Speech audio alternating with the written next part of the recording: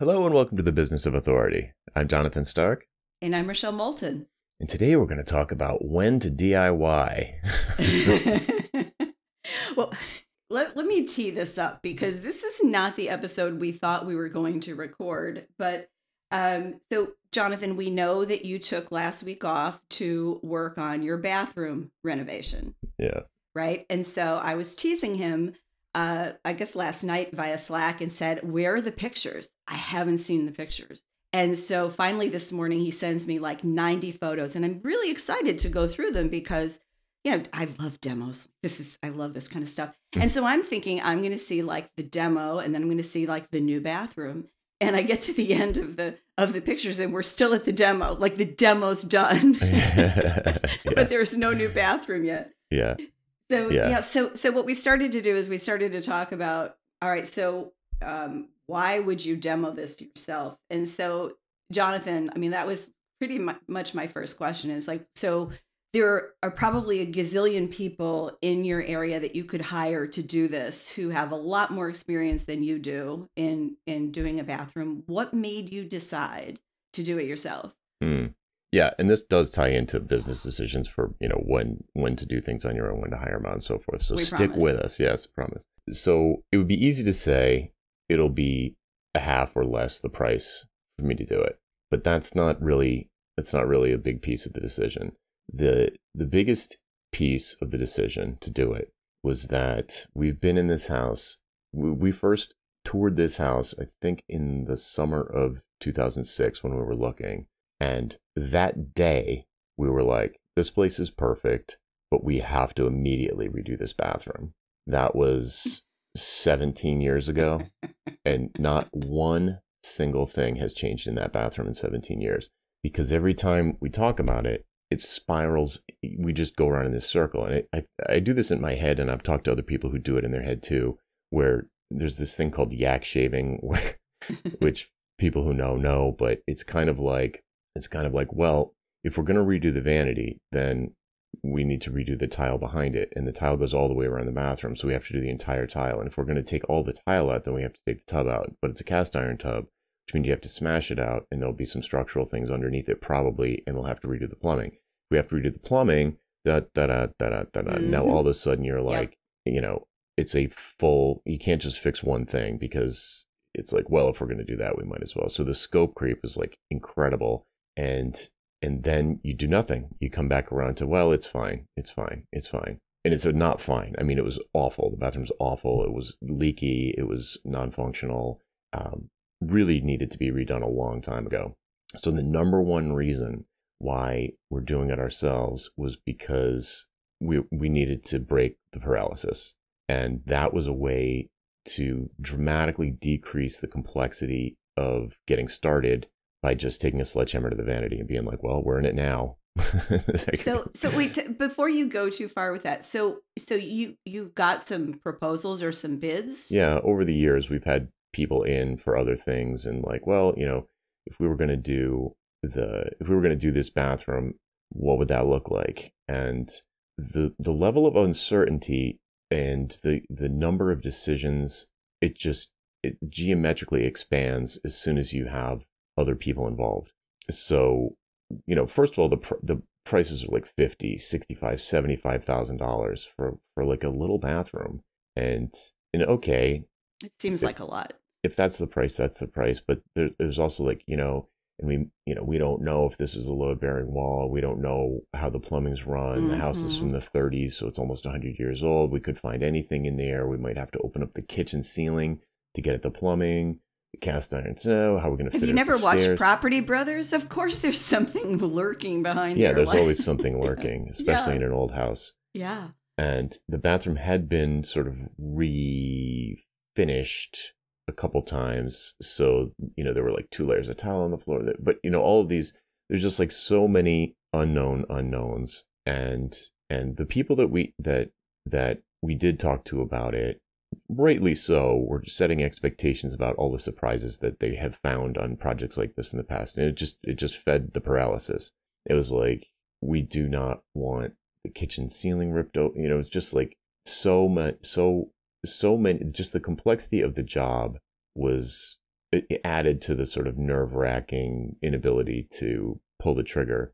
Plus, the I don't know about other places, but around here, it's extremely difficult to get anybody to show up, to even like, you know, to get someone to to return a phone call, even. And so you you don't feel like you're getting the cream of the crop. You don't feel like you're getting. It feels like anybody that it does show up is probably not that great, not that busy. Right, uh, not busy enough. Right, and so anybody good, it was going to be a big waiting list, and uh, it's just like and then once and once you make that decision and you, you pick the horse, you're riding that horse to the end. So if, and you know, right. my my but you'd rather ride your own horse than somebody else's. Yeah, there's just so much uncertainty. So much uncertainty. And, you know, I, I have family members who have sued people that that, you know, just left a job half done and disappeared with the deposit. And there's horror horror stories abound. And even people I know who are tradespeople that I know well are like, oh, we're booked out three months, man. We can't, you know, you know. So then it just gets pushed off and pushed off. And 17 years later, you still have this leaky tub. So it was weird. I don't know what was in the air, but but one day Erica and I almost just like looked at each other and like we should just demo the bathroom ourselves. We should just do it. And because she's great at at design and finishes and all mm-hmm. of that mm-hmm. stuff, she can tile. She's tiled a bunch of stuff. I've done all of the construction and demo work in the past. So I mean, we have the skills to do it yes, an expert would be way faster and way better. And, you know, instead of me up what, you know, teaching myself how to cap off plumbing on YouTube for an hour the night before and then doing it the next day, instead of that, it would be someone who just does it every day and they'd come in and boom, boom, boom. It would take them 15 minutes. It took me like three hours. This is what's so fascinating, though, because I just know anybody listening to this in our usual audience is going to go, Yeah, I've had clients like that where I could come in and I could do this thing that I do way faster than they could with a mm-hmm. higher degree of confidence that it's going to be right. But they chose to do it themselves. Why right. did they do that? Right. That's what's so and, and and the other piece I'm hearing is that like there was uncertainty either way. Like because you you didn't necessarily know just because you did it yourself doesn't mean that you know what's behind the walls, right? You right. could still we still might have had to open up the kitchen ceiling, right? right which you mm. didn't mm. i judging from your your emails no. during this period. No. Yeah so it's it's the it's the it's the uncertain it's the making the bet. And i've heard um i've talked to sort of like this is a long story but but people who have hired me in the past talking about the process of hiring like developers to work on a project and and the fear of of like, is this, am I going to be happy with this experience? And there's no mm-hmm. way for a non expert to judge the capabilities of the expert. You right. know, it's, it's like, so this is, it's really, the exercise is very, has been very interesting for me because for the level of trust that you need to have in, in a scenario like this where you, you just got like um, a non-expert enough skill to be dangerous. Like all software mm-hmm. developers have had that client. Was like, oh, I know enough to be dangerous. Like they literally say that. And a lot of times they're the worst kind of client because then they're asking you a million questions about how you're doing it and they've got opinions about how it should be done, is sort of uninformed opinions, which would have right. been me on this project, mm-hmm. the bathroom project. And I knew been that. poking your nose in. Yeah. Yeah, exactly. Which is hard not to do because they're in your house. Right it, even just out of pure curiosity, like, oh, why are you doing it like that? Like, I want to know why it's like that. I want to, mm-hmm. you know, it would be so annoying. It would have been so annoying. It would have been frustrating for me and for them. Uh, so the so to to flip it around, like to use your your the point that you just made about, you know, like why did this client, why does this client insist on messing with things when when I can just do it so much faster and easier? It's because they can't believe it. It's like they trust. Well, it's, it's trust, trust, really. Exactly. Yeah. It's pure trust or yeah. or um, ability. So I I put some of that on myself as well. You know, it's not just that. It's just impossible. It's next to impossible to air quotes know that the experience of the project is going to be pleasurable. Like if if somebody said, um, it's fifty thousand dollars and I'm going to snap my fingers and it's going to be done and it's going to look like this that you wanted, mm-hmm. that's a no brainer.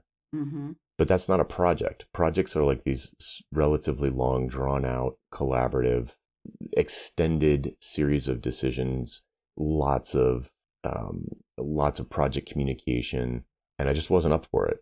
You know, I was like, this will take three or four times longer if I do it myself, and there were probably some things that could have been done better at the end, but the the complexity of the decisions is way way lower, like geometrically lower. And to me, that was like that was the thing that that that was the only thing that was going to get us off the fence, really.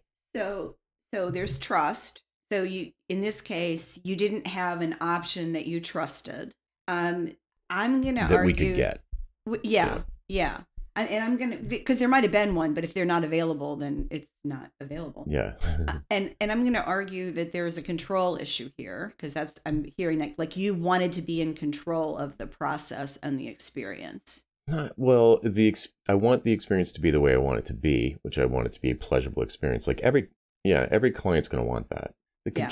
uh, well, if we hired someone and and they demonstrated in the early days of the project that they were just a plus, I'd leave them alone.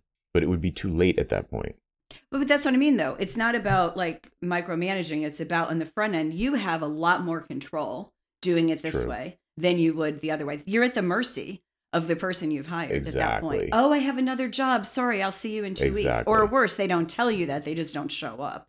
And you're calling them, they don't call you back. I mean, everybody's had contractors like that. Right. But then the other thing is the what I would call your perceived experience. Like you consciously chose this because it was a better perceived experience for you than the level of unknown with hiring somebody to do it. hmm So let me contrast this with something that happened in, roughly the same time frame for me. So I have a, uh, a a Martin acoustic guitar, which is a beautiful, expensive uh, gift that I got in the early '90s, and it's made out of wood, just like the bathroom, and and it uh, due to humidity and heat and fluctuation of the wood the binding started to snap off and become detached and the bridge was pulling away from the body. So it, it needed Mm. some repair work. There's no universe in which i could do that.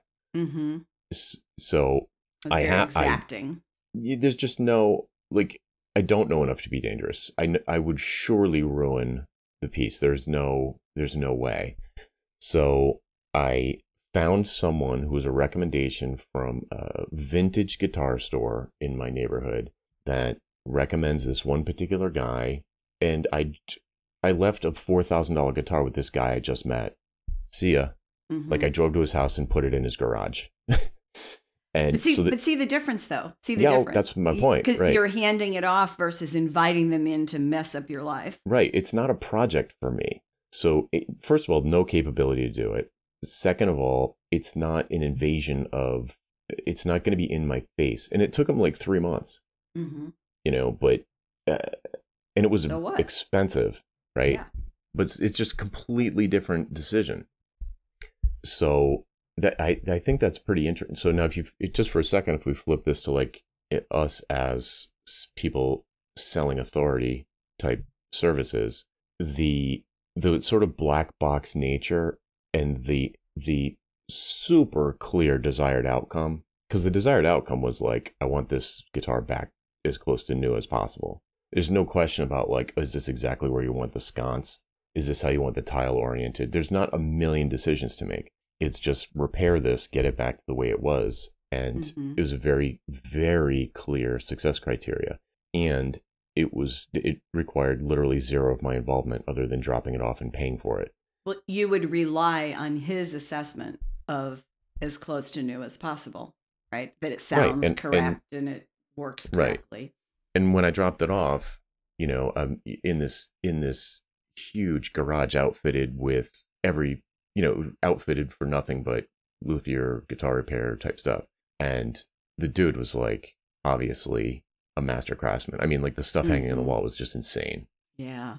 So instant, like as soon as I walked in, it was just some residential, you know, little area. But you walk in the garage and you're like, okay, this guy is a master. And and he talked, but he still talked. A great bedside manner talked to me for like 15 minutes about about any of my concerns, where the thing was had been stored, what I could do in the future once it was fixed, all this other stuff. Very much put me at ease. But then I could just leave it, leave, forget about it, and just know that at some point, he didn't even tell me how long it would take, but at some point it would be done.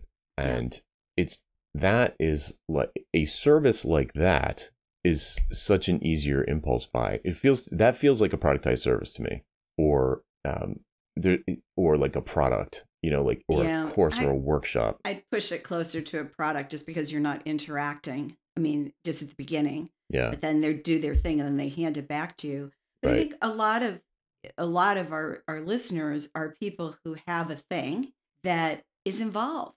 And Mhm. it's not that you can just go away and do it and bring it back and polish it up for the client. It's they have to be involved in it. So the experience is really critical. And then, you know, I mentioned trust control, the perceived experience. I think the other thing is the time trade off, Hmm. right? So you traded off time, maybe for this for this in the bathroom and i say maybe because if the person had disappeared it would probably take just as much time elapsed time it would take more yeah, of your time. time. Right. yes but so there's there's that so it's when you start to think about how your client makes these decisions the first thing that struck me was oh yeah i mean i can see why somebody might say you know what i'm just going to do this myself this is too hard it's too you're asking too much of me and I don't trust you enough to know that you can get me there. Sure, you got all these other people there, but I don't know about me.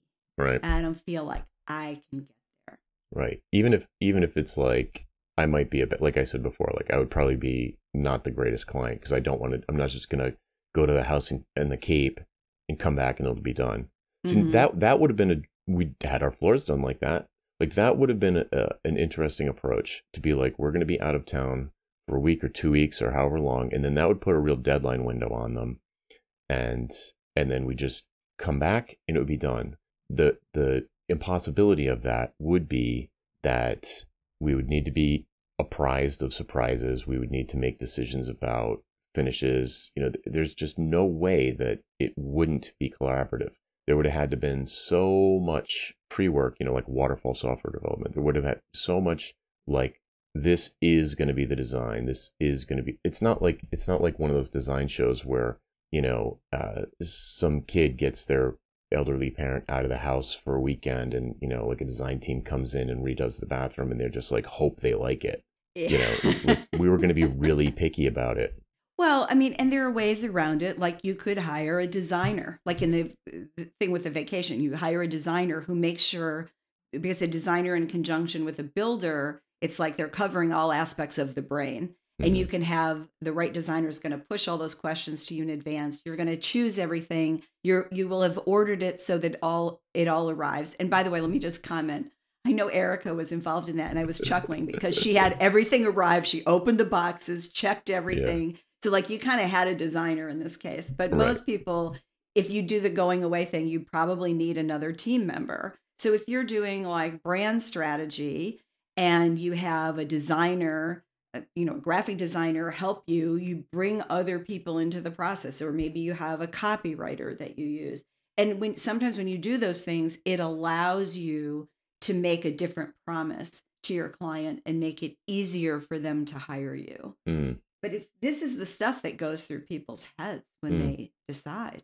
So let me let me t- pile on another business thing here because I did a consultation recently with a person who does brand related stuff and was trying and had a had kind of like a, a two option two option offering. It was like you know good better best style thing, but was having a lot of trouble with the the middle option. And the the the first option was basically like a half day workshop where where like I'll teach you everything I know, I'll give you all my tools, and then you just go do it, you know. And then the Mhm. the top option was like completely done for you, minimal involvement by the client, uh, maximum involvement by the consultant, and, and very very high ticket. But then the middle one was kind of a watered down version of the top one, and and she kept on saying when we were talking about it, it was just like you know instead of like it being 100% thorough, it was like 50% thorough. And instead of it being like 20 frameworks or 40 frameworks, it was only five of the, you know, the 80 20 rule kind of thing. And as, and, and she, Yeah, why would I buy that? yeah, that's Yeah. one thing. But I was, at the same time, from the client perspective, since I was totally, you know, I was the fresh eyes from the from my perspective, I didn't really see the difference between this level two and level three because it was a whole bunch of deliverables and inputs that were meaningless to me. So I was like, well, if I'm going to get the desired outcome with with both, if I'm going to get a pretty good outcome with the middle one, why would I spend three times more for the one that's a little bit better? Maybe I don't know. So that's faster right? And so I was like, oh, you know what it is? It's it's like instead of making and the other funny thing was she was like, it would actually be harder for me to do this because because it's not the way she likes to work. It's not. Um, it was. It was. It would actually make her job harder. Yeah. To do the middle one, the cheaper one, and I was like, all right. So so in the sort of classic three tier format, the bottom you've got DIY, training and tools, and then you're off to the races. The top option, you've got completely concierge, white glove, done for you, turnkey. And in the middle, you uh, done with you. And, and she, her middle one wasn't done with you. It was just a small done for you. And I was like, oh, right. So in order for the buyer to perceive how much better the done for you, the third top option was, the second one should take them way longer and require way more input from them. So a real like like my bathroom feels or would feel like so it was and and that that was counterintuitive to her first because it seemed like the the time involved her time involved should increase at each level. So the middle one should be less time than than mm-hmm. than the third one. Am i am I explaining this well? Yeah yeah because the thing is though it strikes me as do you need a second option? Yeah she definitely did. Okay because where i go with that is if I don't want to work the way that the second option, you know, has to be in quotes, then I'm not going to offer it. Um, I, right. I would want to switch it around and find something that has a value and an outcome that's worth the price and in a way that I can be excited about delivering it. And that's what we did. So so instead of it being a miniature version of three, we turned it into a combination of one and three. So it was truly the middle that that she would be happy to deliver. So yeah, it was like that's the key. Right. So it's training like option one, but then sort of like office hours and guidance, but not implementation. And so the the the client with her oversight would still be doing all the work, but she would stay involved while they did it, and she would you know offer guidance when they were getting stuck or when they were getting hung up or whatever. Mm-hmm. And and she was like, "Oh yeah, I could do that all day long," and it would increase the the likelihood of success would be higher than with option one. But the, the downside of it, which was critical that we got this downside in there, was that it was going to take like, I can't remember exactly, but if, if option, I think it was going to take like four months instead of option three, which only takes like six weeks. Mm-hmm. Yeah, so, that makes sense. Yeah, you so it's kind of speed. Right, because it's kind of dra- where before it was like four weeks, and then option three was six weeks. It's like, well, that sounds better. Four weeks sounds better and cheaper. So, anyway, I just wanted to. That occurred to me was since we were talking about you were talking about branding and also the experience of the project and the time, the calendar time from when you start to when you finish, because that increases the client's opportunity cost, which well, they don't like. And there's also situations where and this may be more common when you have uh, non-corporate b2b clients where you have a client you, have talked to them you've kind of laid out the process and they, they're still kind of doing it themselves. They haven't said no yet but they're going through this process it's kind of like they're selling themselves on hiring somebody because when they're doing it themselves it's not working and that could be marketing, it could be selling, it could be like development for somebody who's like one of your clients who goes, Oh, yeah, I know just enough to be dangerous. I think I'm going to give that a shot. I'm going to do my own website. Eh. Mm-hmm. Um, so, yeah. And I think that's what happens sometimes as well, which is why when somebody says no, a lot of times what they're really saying is not yet. Not yet, right? Because if I, if I sawzall through my live plumbing, I'm going to be like, eh, forget it. I'm not uh-huh. qualified for this. I'm going to pull the ripcord and just and and I learned my lesson. And uh, you know, like if there's some catastrophe, I could learn my lesson and then be like, oh, fifty thousand doesn't sound that bad, or putting up with right. some workmen in the house for a week doesn't sound that bad. Yeah, I mean, you know, before the show, I was telling you that my my um my one story of, of besides painting of do it yourself, which involved going to um, Lowe's and buying a mini sledgehammer because I couldn't swing the big one. Like I literally couldn't. I could lift it up, but I couldn't swing it.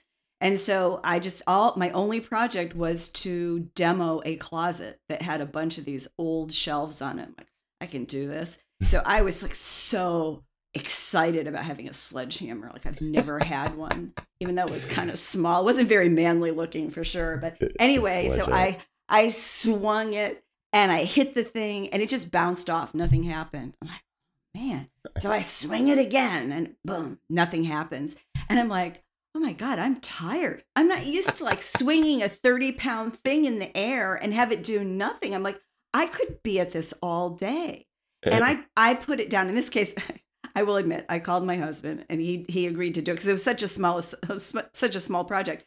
But if it if he hadn't been there, I would have called my handy guy and said, "Hey, just do this. I don't care. Charge mm-hmm. me what mm-hmm. you need to do, but do this." I just didn't want to spend my time doing it. It sounded like fun. I had the goggles, I had the sledge, but it wasn't.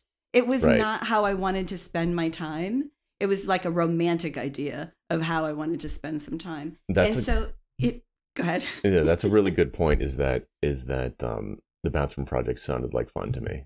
Yeah. Like it doesn't it doesn't make sense. Like why would that sound like fun? But uh, it did. It gives there's something there's this empowerment because it, like we're not planning on never moving from this house. Like this is it, and and the level of um, eh, yeah, empowerment's the right word. It's just like to there's a bit of catharsis because we've been been wrestling with the deficiencies of this bathroom for a long time. We've been living with them and it's not it's not just visual. Like there are problems like structural and mechanical problems in the bathroom that have been super, you know, like a pebble in your shoe, but for 15 mm-hmm. years or whatever I said.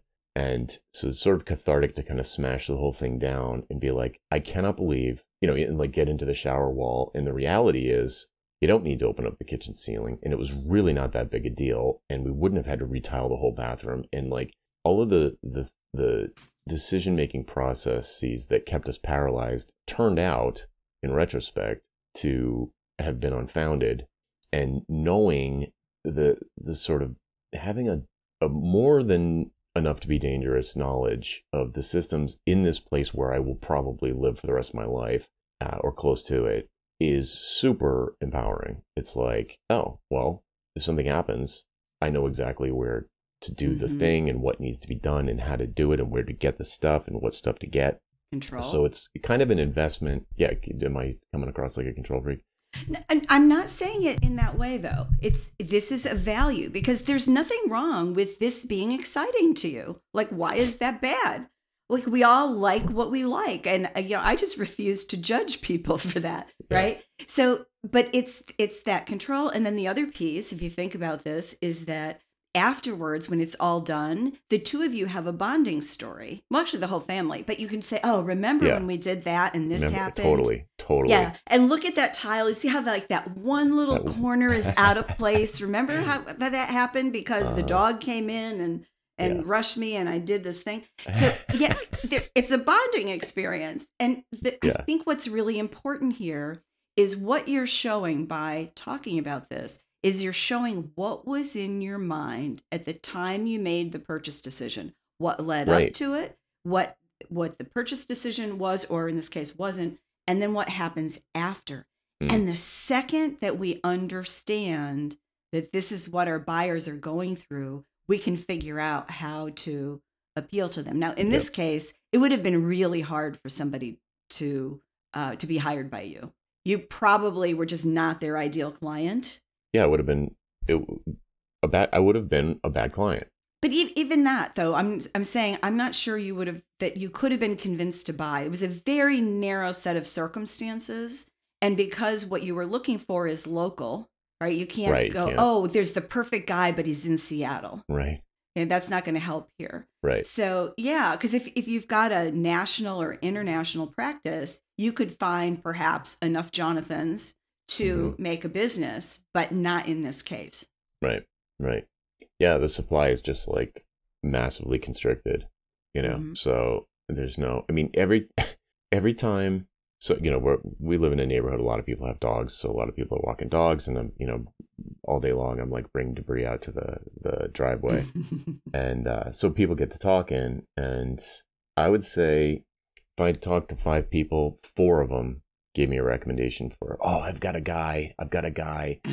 All different all different people. It's like i'll call them you know it's it's almost like this black market of plumbers or whatever hmm where everybody's got a guy that they trust and and i do that does actually work on me because it's well it's a different story but but but now that I'm like i'm like this is my defense against ai because now i know how to do plumbing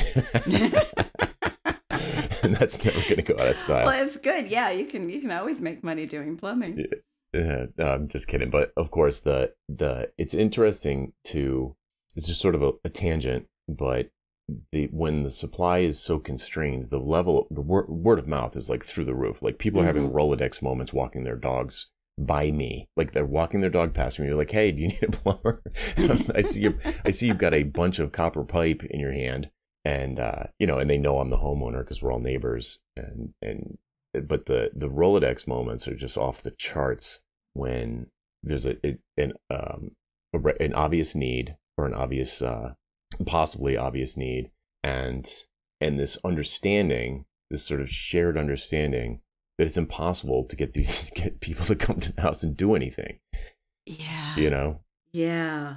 you Yeah, need like a back channel It's I mean it is so interesting and I think that it, the reason I wanted us to talk about this today is just because it's so easy to see because most of us have had to hire somebody for our homes to do something that either worked out wonderfully or the opposite hmm And it's so fascinating to see what goes through people's minds. And if you just want a microcosm of this, whatever city you're in, go to the Nextdoor app for your city and your neighborhood. And God, I hope it's not just mine, but you'll get these people going, oh, so and so was great. And then somebody else will go, oh, I want somebody who's cheap and fast and great. And, you, know, you, you know the rule, right? You can only triangle. get two of those. But um, yeah, so people's expectations are all over the lot. And if in the way we define our ideal client, the way we understand what they're looking for, and then the way we craft our options for them, if, when those all mesh, it's amazing. But in this situation, there probably was no one as a general contractor who you would have hired. Like they would have wasted their time calling on you and doing a proposal. And that's Yeah. part of the advantage, though, is like understanding where they're coming from and recognizing the signs hmm that they are not a fit. You actually just brought up something that hadn't consciously occurred to me until just now, which is that I don't like being on such a like have zero negotiation power, zero. hmm Like it's it's not really about the money, but but Control. you presented not. It's yeah. I don't see it like that. It's it's more nuanced than that. I think that it's like it's like everything. It's it's almost like every conversation would be like an ultimatum, you know, because the because the supply and demand are so mismatched where we live. So give me an example. Like somebody, there's no there's no like competition between the sellers, so you can say whatever they want. hmm You know, uh, give you you know you've you've certainly surely I don't know if you've ever had this experience personally, but I'm sure you've had worked with people who've talked about giving somebody the Jesus price. So like, I don't like think I've don't- heard the Jesus price. No. yeah, this is a it's a Chris Moyer quote, my uh my last boss. But uh, you know, you don't really want the job because you're busy or maybe you're seeing some red flags, so you give them a price that's so high they go Jesus, Oh, okay. and they just like don't want the job. But if you're gonna pay me that much, I'll squeeze it into the schedule. And there's just Mhm. no. I mean, I don't. I guess I just don't like the the the imbalance. The I mean, So what you're saying, I think, is so if you were getting these fifty thousand dollar quotes, there's a part of you that thinks it's a thirty thousand dollar job, but they're saying fifty because they have all the control. So you're paying more than you need to. well, I'm paying what I need to to get them to do it, which is Mhm. So here, here's the other funny thing, like, like if somebody said, so there, these are more buying decisions, right? So this is kind of this is this whole episode is kind of turning into a jobs to be done interview, where somebody made a purchase decision one way or the other and and then you kind of interview them about what was exactly going through their minds and it's always so fascinating how complicated it is it's mm-hmm. so much mm-hmm. more complicated than like here are the benefits here's the price take it or leave it and uh, one of the things that happened i've noticed is that when i go to like home depot or lowes or something i don't even look at the prices it's all way cheaper than having somebody do it right? So it's like that's what they did for you, right? They right they, they adjusted they anchored your... high, right? Yeah. They set a high anchor. I almost bought a three hundred dollar nail gun yesterday for a single use because there's not not a ton of room to use a regular hammer. Mm-hmm. I'm like, mm-hmm. nah, nah I'll end up this will just end up taking up space in the garage. Like that was the main reason I didn't buy it. You know, because yeah, you could justify it if you wanted it for something else. You're like, well, I might as well buy it for this. Yeah, if I was going to use it twice, itself. it would have made sense. Mm-hmm. But yeah, so you just go in and it's like, you know, Shira, it's like a joke. The the prices are a joke compared to like the what the budget would have had to be and then who knows if it creeped and all of the other oh there's a surprise and we got to do it like this and um whoops we damaged the vanity when we were installing it. like i want to damage the vanity installing it i don't want somebody else to damage it yeah oh see now you hit my buttons because that's the thing that drives me crazy about contractors when they're not careful Mm-hmm. And they just like bump into things, they scratch things. Like I the guys who did my floor made like three mistakes because they were oafs. And you know, it's like, yeah. but I still I you know, it's not a do-it-yourself job for me. It's not an option. So I'm gonna have to hire somebody. Yeah, like the guitar. You know, it's mm-hmm. just not an option. Just wasn't an option. It's not feasible. Yeah. You know, it's interesting. I just realized so I've just gone through the same process in my business. So I'm starting up a new podcast. And so I, I wanted help. I mean, you know me, I'm not a DIYer generally. And so I, mm-hmm. I, I was, and I asked you about this too, because I was fascinated with AI and can AI help me with this podcast? And so I looked at some people that I'd seen, I did some searches and I found like three or four people, any of which would probably be fine that were, but they were all super expensive. And when I say super expensive, like $3,000 a month, which I thought was really expensive. Mm. And and they'll do everything for you, including be like being there and recording it for you. I'm like, ah, I think I could handle that myself.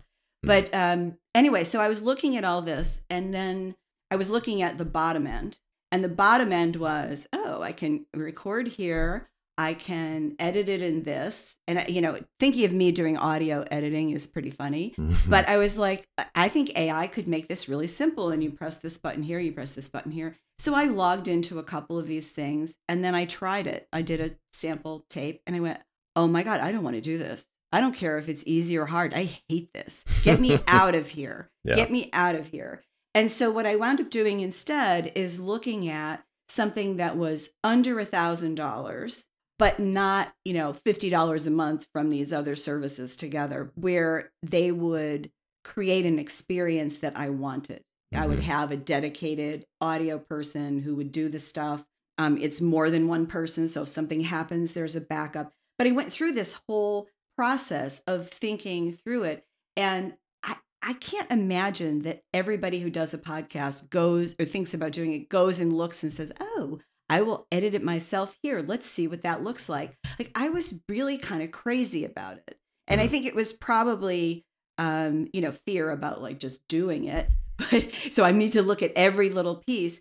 But the the firm that I've chosen was with me through that whole process and never tried to sell me um like hard on their solution. It was just, well, this is how it works. Here's the advantages here's the disadvantages. And so i you know i came to that solution but i i was never a good candidate for the do everything for me. Mm-hmm. and realistically i was never a good candidate for the bottom end. You know mm-hmm. give me the the best tool yeah. and i'll do it myself. Right. Yeah. That's a yeah. I i just it's funny like like somebody's been e- someone very helpfully has been emailing me with you know they they're making this person w- would just like make 20 shorts from from like one of my podcasts this show ditching hourly and you know did a good job he'd send them over and he would say uh, you know you can share these on YouTube if you want. I just wanted to show you like what kind of work I do, and you know, and they're pretty good. They're good. It's like they look like other stuff that you'd see on YouTube or whatever. And obviously, the guy is like trying to get me as a client, Mhm. um, but he he never made the ask, right? And I wasn't gonna I wasn't gonna open the conversation, right? So he sent it to me. I'm like, great, thanks. These look great. And he did it again like a month later, and again a couple of months later. And I'm like, is this guy ever gonna pitch me? and so finally he said, you know, oh, you know, it's I, I did all of these things for you all, you know, uh, over the course of time, and uh, you know, of course, I, I would like to get you as a client. Still, never get, sends me to a, a pricing page or anything, and so I had to ask him, like, well, what are your rates?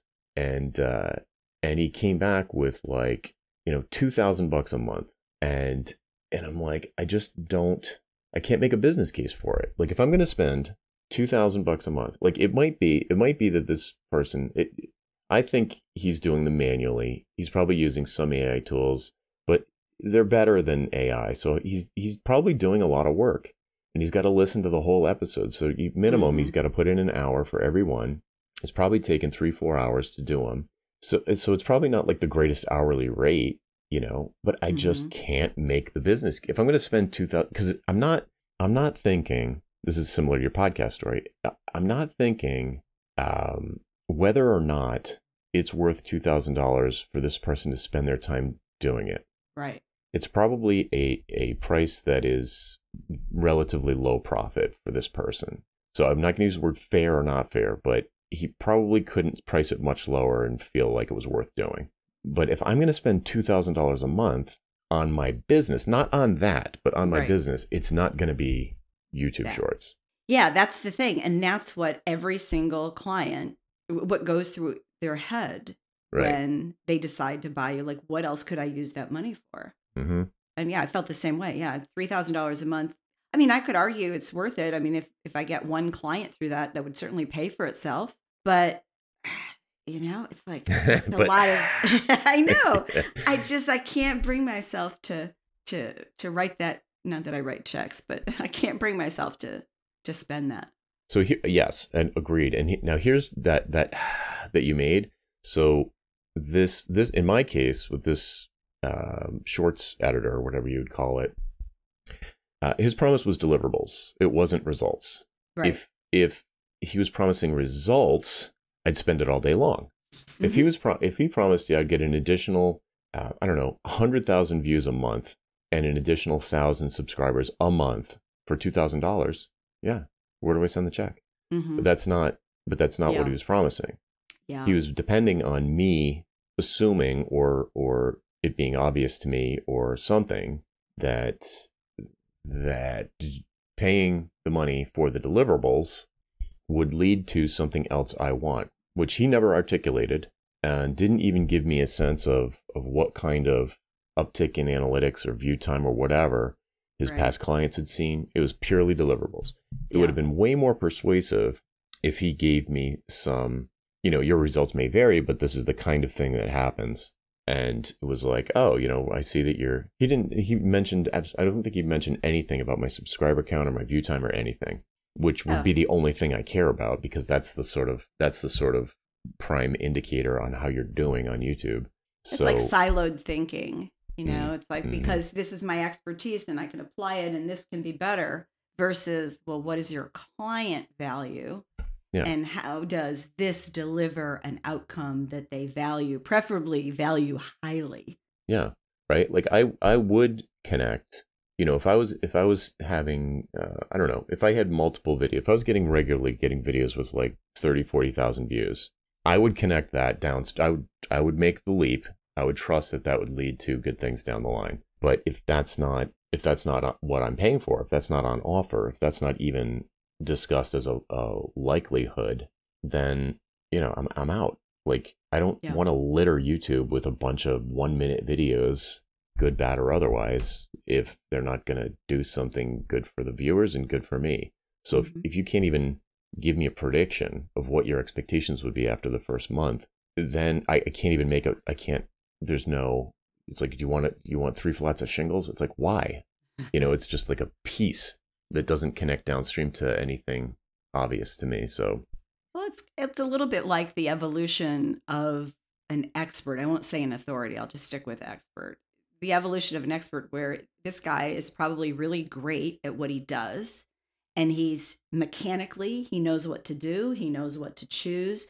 But what he hasn't done yet is to connect his expertise to the outcomes his ideal clients value most. He's probably doing a spray and pray with this, mm-hmm. like finding people who already have a YouTube channel. I mean, he may be focusing it on some level, but he's he's maybe at the halfway point in his development as an expert because he hasn't yet figured out, or we're making this assumption, he hasn't yet figured out how to connect his work to results that are bigger than him. Well, he listens to the show, so he's going to hear.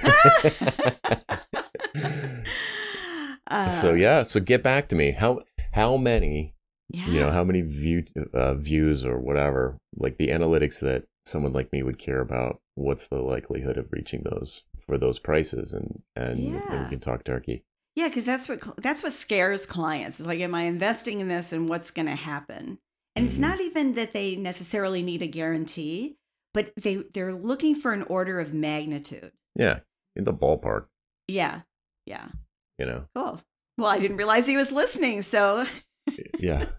awesome. Probably will hear it.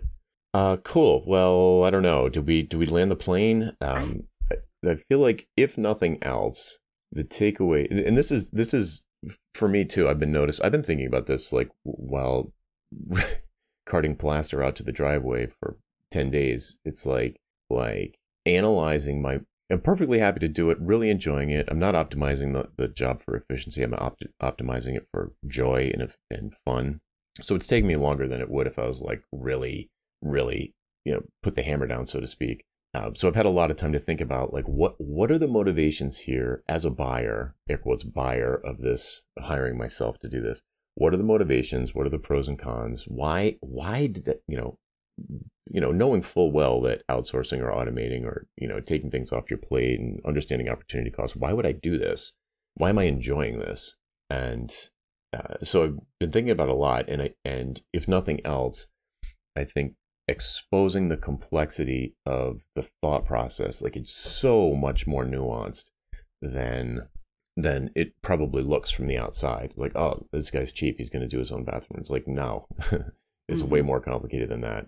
Um, and if you, and I think, dear listener, if you analyze some of your bigger purchase decisions, especially ones that are project oriented, not just products. I mean, people don't generally buy a lot of project type stuff, but when you analyze your own thought processes, realize that if you're presenting your clients with a you know a long-term high ticket engagement then they're probably going through a lot of the same you know uh, mechanics in their mind and wondering all these different things uh, and at a certain point like you just you just can't force them to you know, what's see the value because they're looking at it in a completely different way than you yeah. are.